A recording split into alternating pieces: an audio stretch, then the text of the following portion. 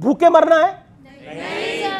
Sir बात अगर धर्म की हो रही है तो मैं ये पूछना चाहूँगी कि हमें बचपन से सिखाया जाता है राजधर्म। धर्म ज़्यादा ज़रूरी है कर्म ज़्यादा ज़रूरी है। कर्म धर्म कोई कर्म को ही धर्म मानो ना? क्यों नहीं फिर? जी, कर्म। को ही धर्म मानो। जी, जी, जी। अगर हम देखें हमें बचपन से सिखाया जाता है कि अगर कोई नेता जाता है बनने के लिए तो वो अपना घर परिवार त्याग करके अपने देश के लिए करता है।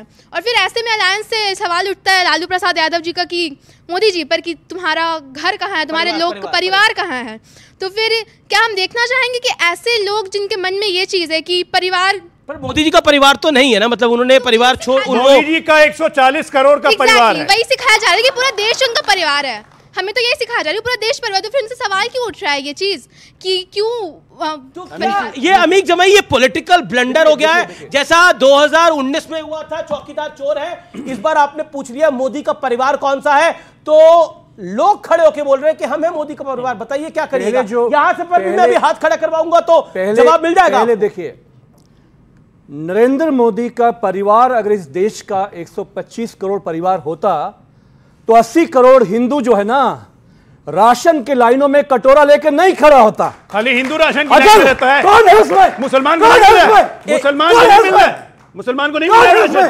अरे मुसलमान को मैं पूछ रहा हूँ कि 14 से लेकर राशन मुसलमान चौदह से लेकर क्या दो- बोल रहे हैं? 14 से लेकर 2024 में हिंदू की ही सरकार है ना कि मुसलमानों का कंट्रोल है।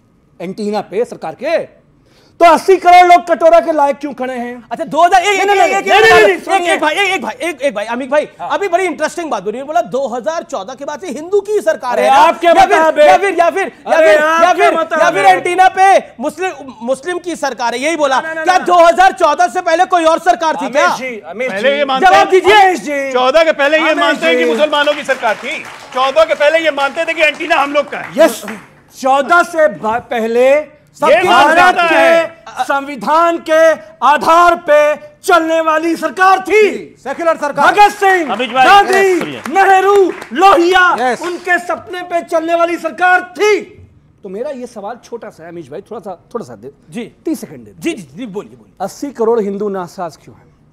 पूरे उत्तर प्रदेश के गाँव में आप चल जाओ किसान गरीब मजदूर रात रात भर फ़सलों को अपना रखाते हैं। दूसरी बात। जी। कानपुर में एक ब्राह्मण माँ बेटी का बुलडोजर चला दिया गया उसकी हत्या हो गई। गलत हुआ वो। पूरे प्र, उत्तर प्रदेश में ब्राह्मणों पे जो एट्रोसिटीज हैं वो हिंदू नहीं है। सवाल यह कि अगर आप ये कह रहे हैं आप ये कह रहे हैं कि प्रधानमंत्री हिंदुओं का सबसे बड़ा ठेकेदार है तो हिंदू परेशान क्यों है? जी जी जी जी लेकिन लेकिन अभी आपने बहुत बोली कि देखिए संविधान 2014 से पहले संविधान की बात होती थी। एक बंगाल राज्य है वहाँ पे एक संदेश खली है। सोचिए वहाँ पर एक आरोपी है जिसने 50 से ज़्यादा महिलाओं के साथ इतना निर्मम व्यवहार किया है कि उसको मैं यहाँ पे बता भी नहीं सकता। उन औरतों को पार्टी दफ्तर रह जाके उनके साथ शारीरिक शोषण करने का आरोप है उनके ऊपर। उस व्यक्ति के लिए 55 दिन तक उसको कोई नहीं पकड़ पाया। इंडिया गठबंधन की सरकार थी टीएमसी की सरकार थी कोई नहीं पकड़ पाया 55 दिन तक लेकिन एक दिन में सुप्रीम कोर्ट ज़रूर पहुँच गया शासन। और आरोपी शाहजहां शेख है। या फिर बंगाल की सरकार है? बंगाल की सरकार को क्या जाने की ज़रूरत थी? पॉइंट पॉइंट सीधा यह है कि संविधान की धजियाँ कैसे उड़ाई गई ये भी हम सबने देखा है। लोग अजय आलोक आप तीस सेकंड। मैं बस ये कहना चाहता. हूँ कि बिल्कुल संविधान के हिसाब से 2014 की सरकार पहले की सरकारें चल रही थी। संविधान के अनुसार ही इमरजेंसी लगा दिया था। संविधान के अनुसार ही प्रधानमंत्री आते थे कहते थे देश के सारे संसाधनों पर पहला हक अल्पसंख्यक का है। बिल्कुल संविधान ही से चल रहा था भाई। संविधान ऐसा था कि प्रधानमंत्री के ऑर्डिनेंस को कोई भी एमपी फाड़ के फेंक देता था। यही संविधान था। एक पर एक संविधान था। केरला में खुले हम प्रधान चीफ मिनिस्टर कहते थे यहाँ धर्मांतरण हो रहा है लेकिन उस पर कार्रवाई हम नहीं कर सकते यही संविधान था। सरकार में ऐसे ऐसे संविधान के इन्होंने उदाहरण दिए में सबकी भागीदारी थी, अब एक धर्मों, जातियों की बहुसंख्यक की बात नहीं होती थी, प्रधानमंत्री मोदी जो आप करते हैं। हिंदू प्रधानमंत्री हैं। प्रधानमंत्री मोदी इस देश के प्रधानमंत्री हैं जिसमें तमाम धर्म तमाम संप्रदाय है इनकी सोच गंदी है। अब कोई मोदी ऐसे ही नहीं होता है। जी। ठीक है ना? मोदी बनने के लिए जितनी तपस्या करी करनी पड़ती है। वो परिवारवादी कभी नहीं कर सकते। क्या अखिलेश लॉन्च हुआ मुलायम के बेटा थे तो बन गए मुख्यमंत्री। हैं? यहाँ अरविंद केजरीवाल जेल जाएँगे तो उनकी पत्नी बन जाएँगी मुख्यमंत्री। यहाँ मोदी का न मतलब तपस्या है तग है खपाना पड़ता है अपने आप को। राजेश गुप्ता देखिए मैं फिर मैं फिर आता हूँ विषयांतर हो जाता है और फिर मैं एक्सपर्ट्स के पास आऊँगा। मोदी के परिवार को टारगेट करने की क्या आवश्यकता थी? देखिए। मैं आप मतलब ये ये मैं प्रश्न इसलिए पूछ रहा हूँ कि 2019 में कांग्रेस ने ये गलती करी थी। इस बार आपके गठबंधन ने ये गलती कर दी है। मोदी के परिवार को टारगेट करा जा रहा है। मतलब मोदी अगर अकेले हैं और अपना काम देश के लिए कर रहे हैं तो उनका परिवार पूछा जाएगा। क्या आपको लगता है ये पॉलिटिकल ब्लंडर है? दैट्स माय क्वेश्चन अमीश भाई जिन मोदी जी की आप बात कर रहे हैं वो मोदी जी की राजनीति इस बात पे टिकी हुई है कि परिवार को आक्रमण ही करते रहते हैं।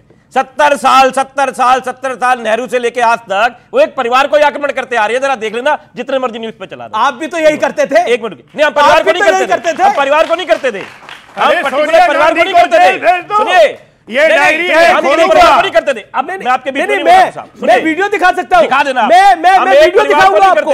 आपके राज्यसभा सांसद संजय सिंह का वीडियो दिखाऊँगा आपसे कुछ देर बाद। जिन्होंने अखिलेश यादव से लेकर ओमर अब्दुल्ला तक ओम- ओमर अब्दुल्ला से लेकर उद्धव ठाकरे तक उद्धव ठाकरे से लेकर शरद राव पवार तक शरद राव पवार से लेकर एक पॉलिटिकल राहुल गांधी सोनिया गांधी पार्लियामेंट में बोली हुई स्पीच में और पॉलिटिकल स्पीच में डिफरेंस होता है। इस बात को समझिए। कमाल बहुत फ़र्क होता है। एक मिनट आगे सुनिए मेरी बात को। अब ये कहते परिवारवाद इन्होंने भी नई दिल्ली से टिकट दी है बांसुरी जी को। किस लिए दिए सर? सुषमा स्वराज जी की बेटिया इसलिए दिए है ना? और तो कोई रीजन नहीं है। नोएडा में राजनाथ सिंह जी के बेटे लड़ रहे हैं। किस लिए? नोएडा नहीं है। गाजियाबाद गाजियाबाद से लड़ते हैं। किस लिए लड़ते हैं? क्या रीजन है? आप मुझे बताइए सुनिए, सबसे ज़्यादा वोट से रुकिए, जीते। नहीं, अब अच्छा, तक अब कह रहे सबसे ज़्यादा वोट से जीतते हैं। कर अब देखिए क्या करें अब राहुल गांधी जी ठीक है परिवारवाद के प्रोडक्ट है। वरुण गांधी जी क्या थे जो आपको लड़वा रहे थे? उनकी उनकी माता जी को क्यों लड़वा रहे थे आप? क्या रीजन है आपके पास में? वसुंधरा राजे सिंधिया आपके मुख्यमंत्री बन रही थी। क्या रीजन था आपके पास में? तो नहीं। चलिए अरे पहले तो बनती रही है पहले बनती रही है। मेरा ये कहना है कि सिर्फ़ बेकार की बात है। अरे वनवास करने जाते थे। मेरे को आज तक कोई बच्चा नहीं दिखा। मेरे पिताजी की फ़ोटो मुझे बचपन की एक नहीं दिखती। मेरे पिताजी से तो बड़े होंगे मोदी जी। वो फ़ोटो बचपन में इतनी बढ़िया बढ़िया फ़ोटो खींच रही है इतने गरीब भी थे। अच्छा वनवास में भी जाते थे वो फ़ोटो भी गुफाओं के लिए उड़ा रहे हैं प्रधानमंत्री का, ये दिखाता है कि गुफाओं की फ़ोटो लेके आ जाते हैं। अरे तुम बोलो तो कुछ। डिप्रेशन, तुम किसी के मुख्यमंत्री का मज़ाक उड़ाते हो, कुछ ये देखिए, तुम तो प्रधानमंत्री कहाँ से है फ़ोटो बड़ी बात बड़ी बात। नहीं जंगल में जाते थे जंगल में फ़ोटो खिंच जाती है प्रधानमंत्री मोदी अगर गरीब थे तो फ़ोटो कैसे खींच रहे है। यार। नहीं देखिए ये भी पर्सनल अटैक हो गया। प्रधानमंत्री मोदी अगर गरीब थे तो उनके फ़ोटो कैसे खींच रहे थे? प्रधानमंत्री की माता प्रधानमंत्री मोदी क्योंकि प्रधानमंत्री मोदी को मैंने क्योंकि प्रधानमंत्री मोदी को मैंने 2001 से कवर करा है। इसलिए मैं बोल रहा हूँ प्रधानमंत्री नरेंद्र मोदी जब बतौर प्रचारक आरएसएस के रहे जनरल सेक्रेटरी बीजेपी के रहे फिर गुजरात गए प्रधानमंत्री मोदी तब एक कमरे के घर में ही रहते थे। इसमें कोई दो राय नहीं है। और जहाँ तक आपने बात करी वो गरीब थे कि नहीं थे? जो सार्वजनिक सबको पता है प्रधानमंत्री मोदी की माताजी आसपास के घरों में जाकर काम करा करती थी। शायद और- ये बात मैं मेरे को यहाँ बतानी आ, ज़रूरी नहीं थी लेकिन क्योंकि इसलिए बताइए क्योंकि आपने आपको किसने बताया था? क्योंकि ये सार्वजनिक है बात। हाँ? क्योंकि ये सार्वजनिक है ये बात। देखिए सार्वजनिक कैसे तो क्या आपको क्या लगता है? मेरी बात अच्छा, प्रधानमंत्री, मैं आप- आपसे फिर कह रहा हूँ जो डिबेट होनी चाहिए देश का एक जनरल इलेक्शन आने वाला है। जनरल इलेक्शन इस बात पे होना चाहिए रोज ये युवा बैठे इनको क्या मिलेगा? किसान को क्या मिलेगा? महिलाओं के लिए क्या होगा? आपको किसने बताया? आपको क्या लगता है? आपको क्या लगता है? आपको क्या लगता है? किसी का महिमा मंडल करके उसको बहुत बड़ा बनाना चाहते हैं बनाइए। मुझे कोई दिक्कत नहीं उनका काम है बनाना। आप ना बनाइए उनका काम है बनाइए। मैं मुख्यमंत्री को अपने बनाऊँ बना, बनाना चाहिए।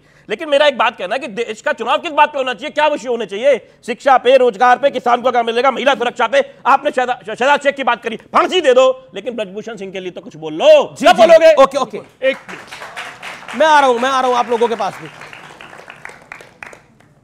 देश का चुनाव क्या इस बात पे नहीं होना चाहिए कि करप्शन के खिलाफ एक अभियान चले? देश का चुनाव क्या इस बात पे नहीं होना चाहिए कि शराब घोटाले के आरोपित को आठ बार से ईडी बुला रही है, जा नहीं रहे और उसके बाद नौवा बार सीधे जेल जाएँगे? देश का चुनाव क्या इस बात पे नहीं होना चाहिए जो परिवारवाद पे इतनी मिर्ची लग रही है क्या ये राइट है? बर्थ राइट है राहुल गांधी का कि वो गांधी परिवार में पैदा हुए इसलिए प्रधानमंत्री वही बनेंगे? कोई दूसरा नहीं। अरे कम्युनिस्ट क्यों बोल रहे हैं भाई? ये तो ना तीन महीने तेरे में। हाँ। पता नहीं उत्तर प्रदेश। तो ये देश है।